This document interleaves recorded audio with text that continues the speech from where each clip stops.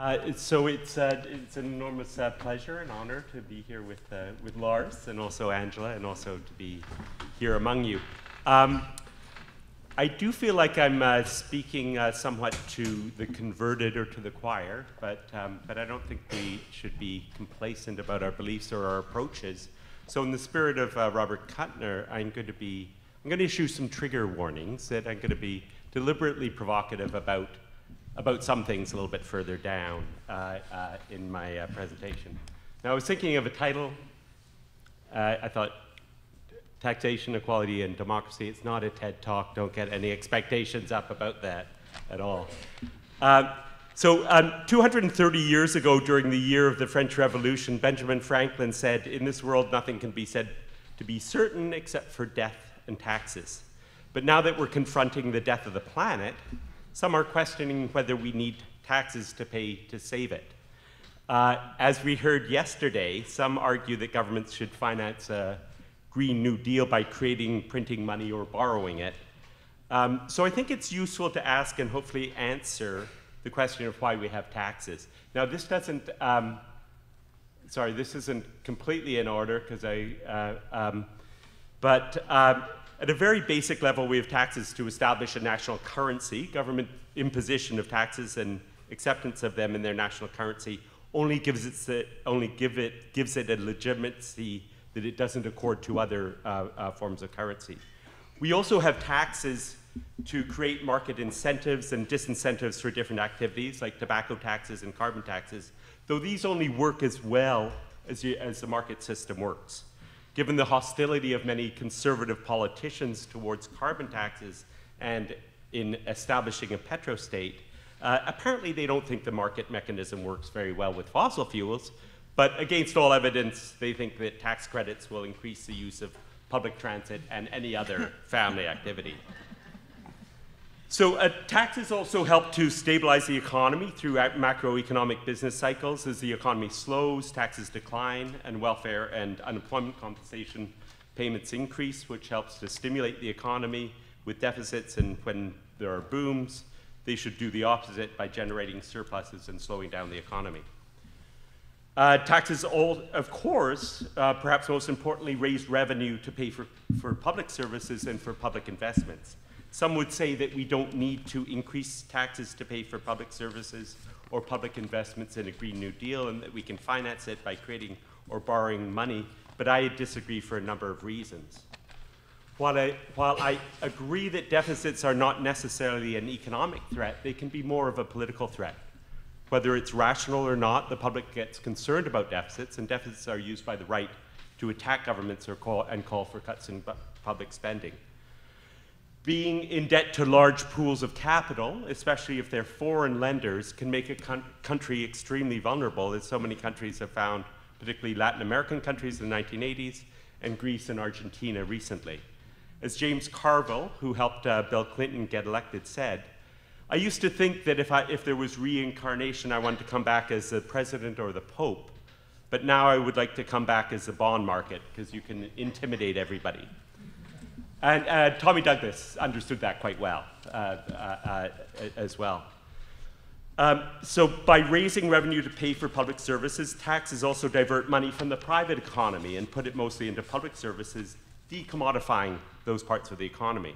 So paradoxically, this diversion of money from the private economy to the public economy increases economic growth because spending on public services stimulates the economy more than tax cuts do, and what's called the balanced budget multiplier. Now, while I'm certainly guilty of it too, 12 years ago I wrote an article calling for an environmental New Deal, there can be an inherent contradiction, at least in the short term, in calling out for major economic stimulation through a Green New Deal. Only one quarter of our GHG emissions come from direct fuel consumption by households, with three quarters from industry uh, and business consumption in the production of goods and services, uh, including in the production of electric vehicles and a, and a whole lot of environmental goods and services. So it doesn't really make sense to run an economy gangbusters to save the planet because instead we'll be making the planet burn faster. Instead, we need to use taxes to help slow down economic production in certain areas Uh, uh, and to finance the transition to a low carbon, lower consumption, and more egalitarian economy. I'm not opposed to full employment, but let's ensure that it comes with fewer working hours and more time for leisure, for recreation, political and community engagement, just as Marx and Keynes envisaged centuries ago. We have a lot of wealth in our society, but it's very unevenly distributed. I think our problem is more one of redistribution than one of creating more economic growth and consuming more of the Earth's resources. I don't think we should leave future generations with greater financial and social debts on top of the environmental debts that we're leaving them. So finally, but also most importantly, taxation is important for income redistribution and increasing equality, although they haven't necessarily done a good job of that recently. Many people make the connection at an abstract level between the taxes that they pay and the public services that they receive. But what gets people really fired up, I've, in my history working as an economist, uh, what people get, gets people really fired up about taxes is whether they're fair or not. Uh, despite what Margaret Thatcher claimed, I think most people feel like they're part of a collective society except that we all have to contribute to collective goods, just as everybody's expected to do the dishes, the cooking, and housework in a family.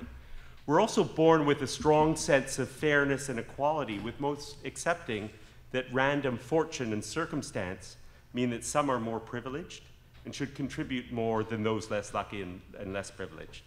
Although some don't have the humi humility to realize that they're born on third base. So in um, uh, this is a, just a chart that shows the multiplier effect of, uh, of, uh, of uh, public spending. It, it, it, creates many more jobs and uh, more economic growth than uh, tax cuts do.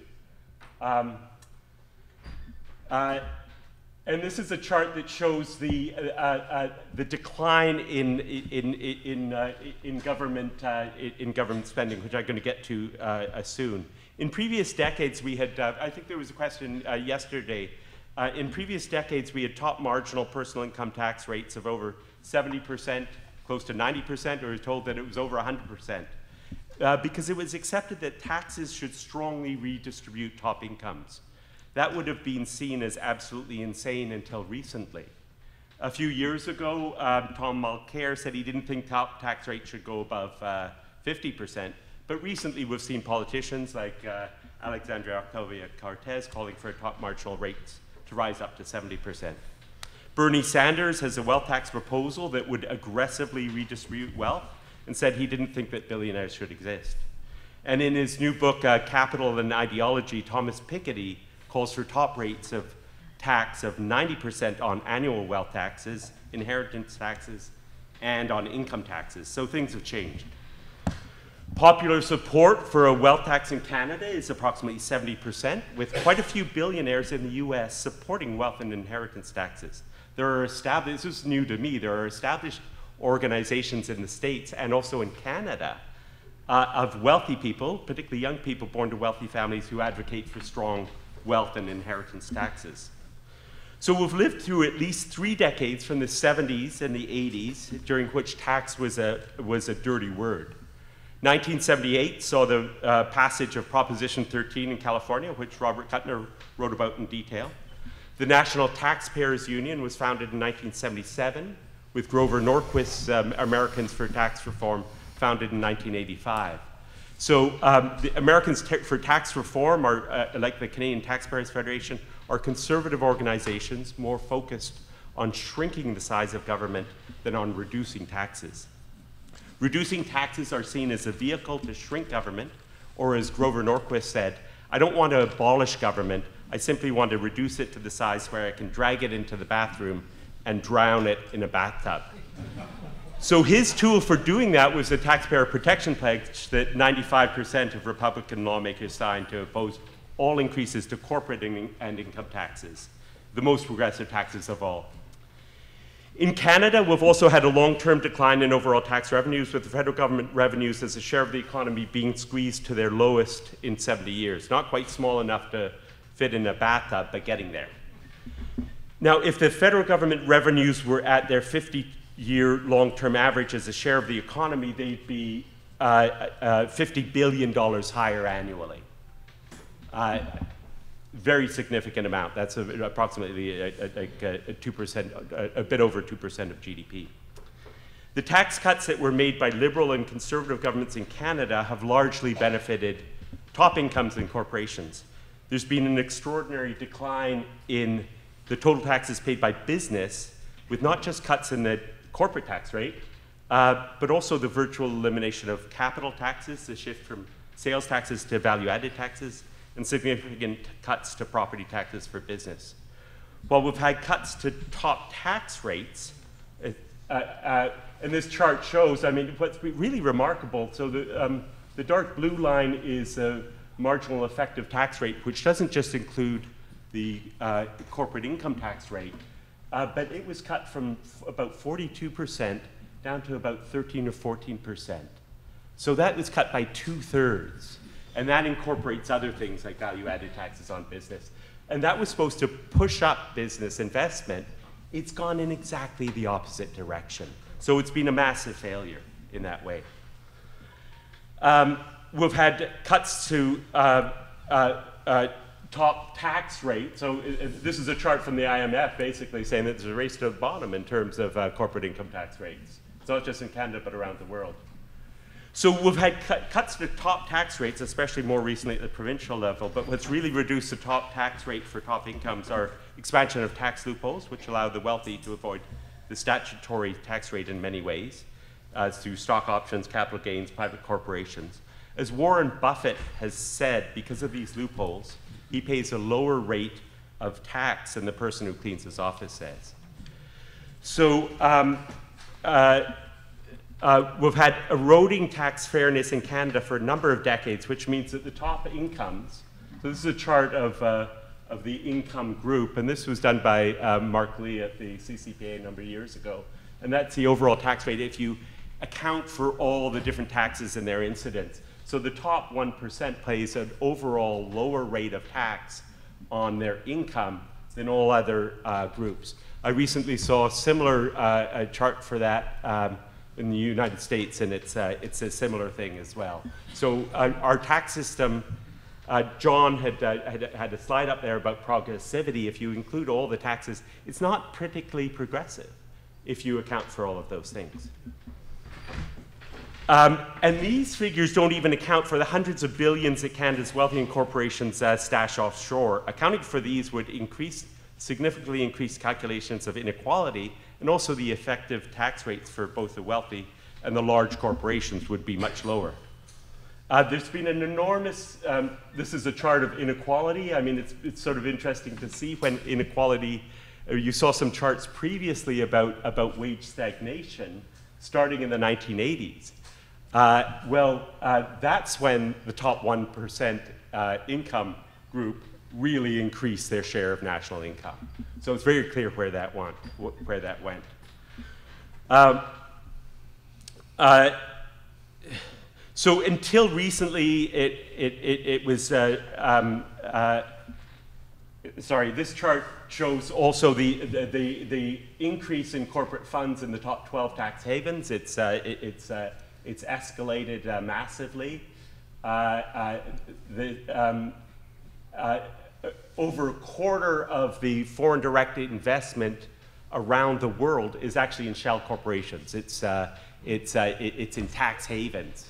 Uh, and that's similar for Canada as well.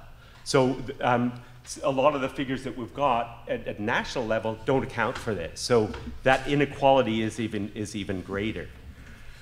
Um, until recently, it was generally accepted that there wasn't all that much money at the top. We talk about taxing the rich and corporations, but behind doors, some, some of us said that to pay for public services, we'd really have to have an adult conversation about taxes and have to increase consumption taxes, payroll taxes, and income taxes on middle incomes, just like they do in Scandinavia. Uh, I always took a more left populist position just by inclination, but not because I knew anything more. But uh, what I think most of us didn't realize is just how fat the tails are, how, how much income and wealth has become concentrated at the top, or for economists speak, how fat the tails are in terms of the uh, distribution, the normal distribution. They're far from normal. There's actually a lot of money up there at the top. uh, for the top 1% of the largest corporations, we need, to, we need to tax and target them even more, as Julie also talked about. So um, uh, these are some charts that show the, the, the, the, the Canadian uh, uh, estimates of the offshore wealth uh, uh, abroad. There's approximately um, um, uh, six, six billion US, according to, so about eight billion in Canada. These are some low estimates from Zucman. This is a chart, this is a very interesting thing that came from the IMF recently. It's their estimated revenue losses from profit shifting in 2013, so six years ago. Uh, just came out recently from the IMF. For the OECD countries, it's uh, 400 billion. For, uh, or, or, or, or for and for non-OECD, or 400 uh, over that, for non-OECD countries, about 200 billion. So over 600 billion dollars revenue losses each year. In Canadian dollar terms, that's 800 billion. It's probably close to a trillion. So a trillion dollars is being lost, uh, or close to a trillion, from profit shifting by corporations because of uh, because of uh, uh, uh because of weak co international corporate tax rules. Um, uh, and, and it's even more of an issue for, for, for, uh, for low-income uh, OECD countries, African countries. It's a higher share of their GDP, and those countries depend much more on corporate taxes for their revenues, and they have very pressing, uh, uh, pressing needs for, uh, for public spending, as Julie very eloquently talked about, and it's a matter of, ma of life and death uh, in those countries. And so that's why uh, uh, organizations like Oxfam and other development organizations have been at the forefront of some tax justice uh, movements internationally. So um, uh, uh, our organization came up with a platform for tax fairness with not especially radical proposals and cautious estimates of the revenues. So, these are some of the estimates of the revenues from the main positions there. Closing tax loophole, 16 billion making our tax system more progressive, 16 billion, tackling tax havens and uh, tax dodging, 6 billion, addressing climate change, 5 billion. It all adds up to over 40 billion. So we can get those revenues. Now it turned out, so the, the, the Parliamentary Budget Office has been costing the proposals of different parties, which has been fascinating because they've got a lot more information than, than is available to us. Uh, and, and invariably, their estimates have been higher than some of the estimates that we've come out with. Um, the next chart is some of the progressive tax measures that have been uh, uh, announced in the election so far. The NDP announced a 1% tax on wealth over 20, uh, over 20 million. $6 billion they've estimated, and that includes uh, uh, some avoidance as well. So it's been very uh, interesting to see that and, and see the different estimates of that. So um, I've never understood why people on the left have been suspicious or critical of populism. To me, it seemed anti democratic and also as if you're ceding popular defeat, not even wanting to engage in class conflict when your troops are getting slaughtered. To quote Warren Buffett the, uh, again, there's been class warfare going on for the last 20 years, and my class has won. We're the ones who have got our tax rates reduced dramatically. So, how do we achieve change? How do we wage war and how do we win? I, fir I firmly believe that uh, social democratic parties were able to achieve progress in the post war period, partly because lurking behind was the threat of socialism and communism. So, um, more radical uh, social and uh, communist movements were, in a sense, the friends of, uh, uh, of social democratic uh, parties and not their enemies. Uh, the vested interests, as Keynes called them, realized that they had better share the wealth or else they could lose it. Right after the Soviet Union disintegrated in the early 1980s, we experienced a sharp shift to the right in Canada and elsewhere. Privatization, free trade, and, or, or what should be called investor protection agreements, because that's what they are. They're not free trade agreements, they're actually investor protection agreements. Um, many social democratic parties shifted rightward on economic issues, including Obama, embracing market solutions and globalization, things like nudge economics, while leftward on, on social issues. As uh, Thomas Piketty has uh, demonstrated in his new book, they became more parties of the educated elites, um, people like you and me, than the parties of the workers. The working class left in the gutter of economic progress and political life have been easy pickings for right-wing national uh, populists. um, you can see some of the cynicism or why, why people get cynical about some climate change issues. I recently flew across to Paris and, and uh, for some meetings on international corporate tax reform. I calculated the, the, the, uh, the, the greenhouse emission, uh, the greenhouse emissions involved with that, and I'll, I'll, probably take three flights this year. They amount to about four, four, four tons of uh, greenhouse gas emissions. Uh, my having a hybrid car has saved me one ton. So uh, I, I, feel like I look, need to look at myself. I mean, I, I, it's hard to be critical of people who, who, who, who have got pickup trucks when, when, when they see us uh, and, and others like us flying around the world preaching to, uh, about climate change, but, uh, but, but, but, but, still emitting a lot more in terms of, uh, in terms of uh, emissions. So, um, but we've been able to achieve some progress following the financial crisis, but generally only when there's some threat out there. Remarkably, now we have uh, the prospect potential for fairly radical international corporate tax reform but it's come across from grassroots activism, but also because right-wing governments felt threatened. So there are uh, right now OECD, uh, G20 discussions on fairly radical international tax reform, uh, but it's happened only because there have been conservative governments in the UK, Australia, France, the US, and India that have felt compelled to introduce special taxes on Google and Facebook and others. Um, they felt threatened by the populist rage, and so they've introduced these special taxes. Um, so in but in Canada, liberals have been sitting on their hands saying that they're waiting for an international consensus position.